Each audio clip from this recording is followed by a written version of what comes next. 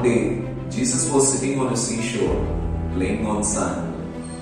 A team of people came there with the women who they claimed to be a prostitute and wanted Jesus to do justice.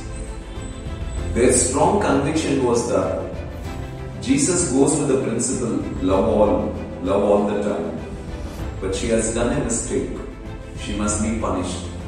If she is punished, the principle goes wrong. And if she is not punished, automatically justice is not being done. If justice is not being done, then he is not fit to be a ruler. So the ideas that were flooding in their mind had a lot of confidence that they are going to win anyway today. They were waiting for Jesus to do justice. Jesus, after hearing all this, not even lifting his head up, just said, You can beat the women. So everyone felt joyful because their idea was working out.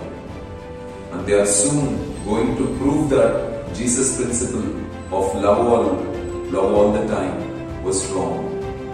They all took stones to beat her. Just then, Jesus, not even lifting his head up, said, The one who did not do any mistake can stone her. And he just continued playing on sand. After some time, Jesus lifted his head and saw no one there. Then he smiled at the women and said, Don't repeat this. You can also leave. Probably the best illustration to say that there is no one who have not done mistakes.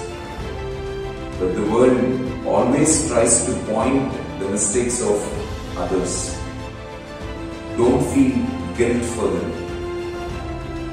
Learn from your mistakes. See that they will not be repeated and lead a happy life. Because happy life alone creates a happy future. Thank you.